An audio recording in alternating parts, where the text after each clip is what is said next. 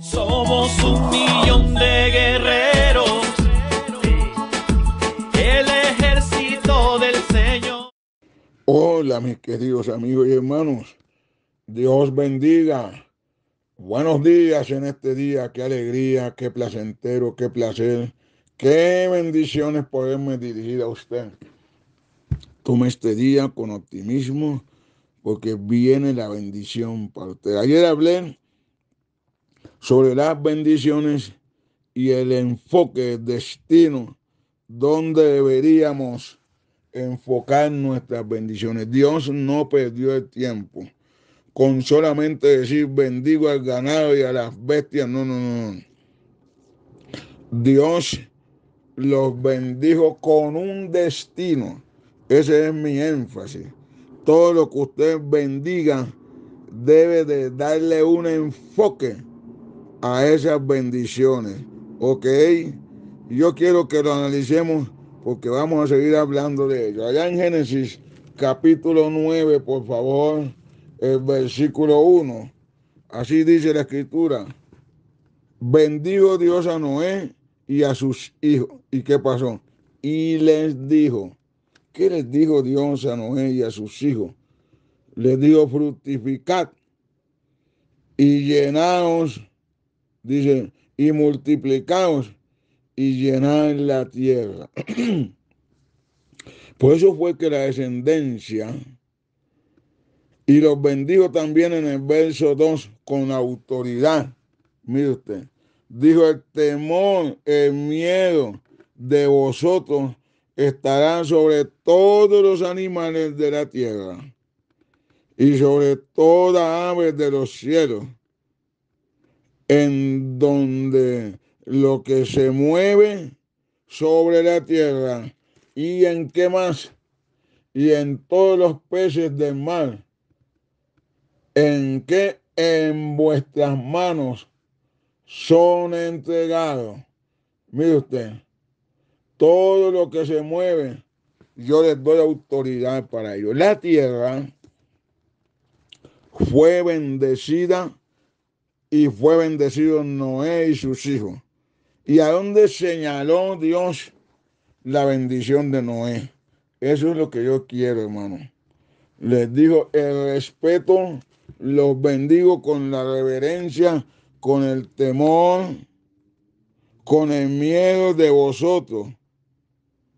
El miedo de vosotros estará en todo animal de la tierra. Amén sobre las aves, todo lo que se mueva.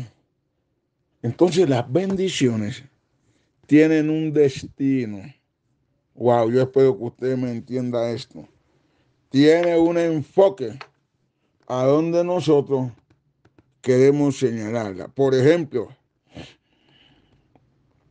si usted quiere bendecir a su hijo o a su esposa o a su esposo, no se quede solamente con decirle Dios te bendiga o mujer Dios te bendiga. Lo que usted debe decirle es, hijo, te bendigo hoy con gozo, te bendigo con paz, te bendigo con buenos clientes, te bendigo a ti y a tu empresa, bendigo la ropa que te pones.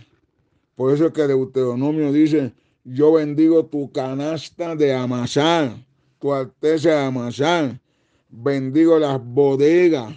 Amén. No solamente bendijo, sino que le dio un destino a esas bendiciones. ¿Se parece a usted con que apenas echamos la crucecita o algunos echan la crucecita y dicen te bendigo? Cada vez que usted bendiga a algo, así será. Le voy a decir algo curioso y personal. Aquí en casa, llegamos unos años y nos fuimos con mi esposa a hacer la obra misionera. Duramos algunos años por fuera, no recuerdo. Y dejamos nuestra casa. Vean, hermano, eh, en poco tiempo, cuando vinimos, había un desastre. El baño se regaba el agua aquí y allá. Vean, y desde hace 14 a 16 años yo arreglé ese baño con solo ponerle una tirita. Y mi esposa y yo todo lo que tenemos los bendecimos. Yo la oigo orando por ahí. Señor, bendigo esta cocina. Y hermanos, llevamos 16 años con las mismas tiras jaladoras del baño y es una cosa sencillita. Fíjese usted, la estufa no se nos daña. Le aseguro que estamos ya para 20 años tener una estufa, no, unos 16 años, tener una estufa y siempre permanece así, buena. Todo lo que usted tenga, bendígalo. Dios no va a mandar el Espíritu Santo al arcángel Gabriel o a Miguel. Yo como arcángel Gabriel y Miguel bendigo tu estufa. No, no, para eso estamos nosotros. Para bendecir lo que Dios nos ha dado. Bendiga sus zapatos. Yo tengo zapatos aquí que los tengo cuando era misionero en la ciudad de Barranquilla. Ahí me gusta bendecir las cosas. Y lo interesante es que la bendición de Dios toma las cosas y las trae y les trae maravillosas bendiciones y buena durabilidad. Yo quiero que usted vaya conmigo a Génesis 14, versículo 19. Mire lo que está diciendo la escritura aquí. Hubo un personaje que dice, entonces el 19, y le bendijo, mire, si ven, cada bendición debe tener una pronunciación. Le bendijo diciendo, bendito sea Abraham del Dios Altísimo, creador del cielo y de la tierra. Nótese usted. Y bendito sea el Dios Altísimo que entregó tus enemigos en tus manos. Aquí Melquisedec lanzó una bendición a Abraham. Esto es una bendición sacerdotal. Los pastores debemos de bendecir a nuestros líderes, a nuestros miembros. La pastora María Elia Quinto y yo tenemos una costumbre. En cada año bendecimos a nuestra familia. Lo iniciamos hace muchos años con muy poquitita familia. De verdad que sí. Tres, cuatro, cinco. Y ha sido año tras año, bendición tras bendición. Y están regados en diferentes iglesias.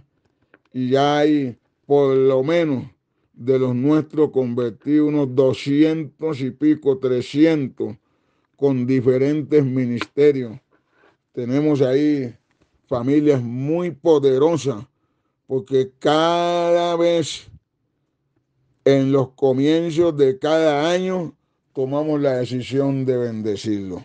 Sabe que a mí me preocupa tanto este temita, hermanos queridos. Aquí hubo una bendición sacerdotal. Algún tiempo me fui con el pastor Tobías y la pastora Mari al pueblo de él, Morales, creo que es sur de Bolívar. Y allí el pastor consiguió unos animalitos, una vaca, la compraron, oiga bien, y comenzaron a bendecir en el culto la familia. Algunos no se habían convertido de parte de la familia del hermano Tobías y de parte de la familia de la pastora Mari. Pero meses después, la respuesta fue que ya habían recibido al Señor Jesucristo. Quiero mostrarte un secreto. Oh Dios, voy a mostrarte un secreto. En, las bendiciones tienen un destino, ¿sabía usted? Tienen que ser enfocadas a un destino. ¿Cómo así, Pastor Eustiquio? El destino es lo que usted quiera enfocar en ese niño o en esa persona. Génesis 9:26. Mire lo que está diciendo la Sagrada Escritura. Dijo más, bendito por Jehová mi Dios sea Zen y sea Canaán su siervo. Oiga bien, engrandezca Dios a Jafet y habite en la tierra de Zen, ay Dios mío, y sea Canaán siervo. Y vivió Noé después del diluvio 350 años. Óyame bien, Noé bendijo a Zen. ¿Y quién es Zen? El padre de los semitas. Y ante ellos, ¿quién vino? Abraham. Bendijo también a Jafet. Jafet fue un hombre próspero una tribu, una familia próspera. Y, y, mire lo que dice. Y a Can le dijo, sean siervos de siervo. Cananita. Y mire lo que pasó ahí. Cananita. Siervos de siervo. Cada bendición debe tener un destino. Wow. Yo espero que esto usted lo entienda. Es decir, como un punto de referencia a donde usted quiera bendecir, ¿ok? Wow, entiéndame esto. ¿Qué es lo que usted quiere de su hijo, de su hija, de su esposo, de su esposa? ¿Ah? ¿Qué está persiguiendo ¿Cuál es la visión panorámica de Él que usted tiene de Él o para Él? Bendígalo con ese enfoque. Amén. Y aquí José, semita. ¿Sí ve? Y can, y can, siervos de sierva. No vas a prosperar en otras palabras. Y así sucedió. Quiero que vaya también en el capítulo 12 del libro de Génesis. Vamos a descubrir cosas maravillosas en el verso 2. Dice, y haré de ti una nación grande, eso lo conocemos. Y te bendeciré y engrandeceré tu nombre. ¿Y qué? Y ahí viene. Y serás bendición. Señores y señoras, hermanos y hermanas. Bendito el nombre del Señor. Dios llama a Abraham y en qué lo enfocó. Tú serás bendición. ¿Por qué? Porque Dios lo bendijo. O sea que donde el Señor Abraham iba, ya no le llamaban tanto Abraham, sino, ¡Hey! Adiós, Padre de bendición, bendíceme. ¿Cómo? quiero que me bendigas. Y a veces veo a Abraham de lejos levantando la mano diciendo, te bendigo con tierra sana. Te bendigo con salud, ¿sí ven? Te bendigo con habilidad espiritual. Amén. Te bendigo con habilidad mental. Te bendigo financieramente. Te bendigo con habilidad para hacer la finanza. Cada bendición debe perseguir un objetivo. Debe enfocarse a algo. La pregunta es, ¿a qué estás tú enfocando bendición? ¿Qué es lo que tú haces al bendecir? Aquí, mire eso, tú serás bendición. O sea que la cobertura para el pueblo de Israel estaba en quién? En el padre Abraham. Acuérdese que muchos decían, Padre Abraham, hijos de Abraham somos, eso lo dice en San Juan capítulo 6, esto capítulo 8. Jamás hemos sido esclavos, somos originarios de la bendición. Amén. Entonces, enfoque por favor las bendiciones. Amén. Bendiciones para ser guerrero, oiga bien. Quiero que usted lea conmigo. Wow. Wow, Señor bendito. Qué cosa tan maravillosa. Génesis 22. Usted debe darle un destino a esas bendiciones, a las que usted quiera emitir para sus hijos. Génesis 22, 15. Mire lo que está diciendo la Sagrada Escritura aquí. Llamó el ángel de Jehová a Abraham por segunda vez desde el cielo y dijo, por mí mismo he jurado, dice Jehová, por cuanto has obedecido esto y no, has y no me has rehusado tu hijo, tu único hijo, aquí viene. Mire usted, de cierto te bendeciré, hasta ahí está bien. Y después que dice, y multiplicaré, nótese usted, bendición de qué? De multiplicación, de qué? De tu descendencia. Como las estrellas del cielo y como la arena que están a la orilla del mar, y tu descendencia poseerá las puertas del enemigo. Qué impresionante esto. Bendición de qué entonces? De guerrero. Amén. Puertas del enemigo. Verso 18. En tu simiente, ¿qué pasa? serán benditas las naciones de la tierra por cuanto obedeciste a mi voz. Amén. Oiga, en tu simiente, pero ayúdenme ustedes, ¿qué simiente? ¿Simiente de qué viene? De segmental, de semen, de generación. En otras palabras, el semen de la descendencia de Abraham no era un semen maldito.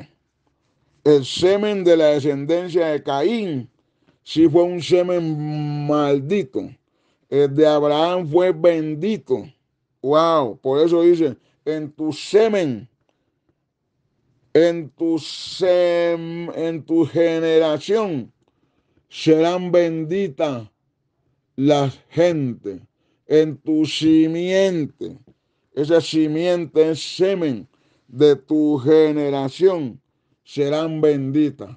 Es decir, no solamente el semen de Abraham iba a ser bendecido, iba a ser bendecido de Isaac, el de Jacob, el de los doce hijos de, de Jacob.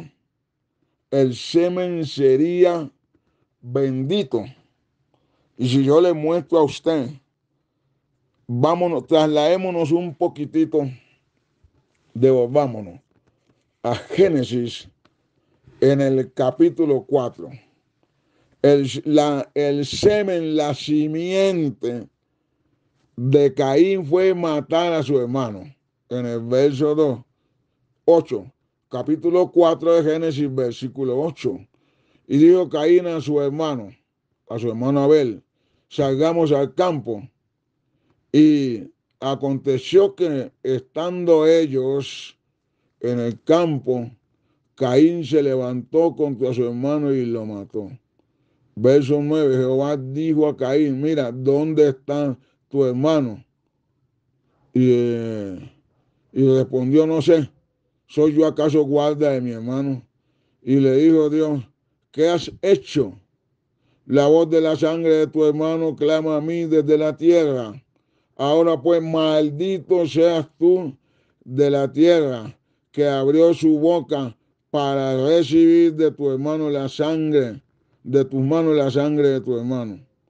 Mira, Caín, cuando tú le abres la tierra, maldita será, no te dará su fuerza. Y Caín dijo, grande es mi castigo. Versículo 15, oiga bien. Vamos al 16. Salió pues Caín, ya iba maldito, no de Dios, sino de la tierra, delante de Jehová, y habitó en tierra de Enot, al oriente. Esa tierra quedó maldita porque él la habitó. Y conoció, aquí viene lo que te quiero compartir. conoció Caín a su mujer. Esa expresión conoció, lo que está diciendo es tuvo intimidad, tuvo relaciones sexuales con la mujer, la cual concibió, ¿de qué? Y dio a luz un hijo y edificó la ciudad llamada del nombre de su hijo. Y por ahí sigue. Y no también, oiga bien, conoció, eh, dice, y Enón le nacieron a Irán, engendró a Maujael, y mío comenzó a engendrar, engendrar a, Ma, a Maujael, a Metusael, engendró, habla de, de Semen, y engendró a Lamén. Y Lamén conoció, Lamén tomó para sí dos mujeres, simiente malvada de pecado. Y el nombre de la una fue Ada y el nombre de la otra fue Sila. Y Ada dio a luz a Jubal, a Jubal, el cual fue padre de todos los que habitan en tiendas y crían ganado.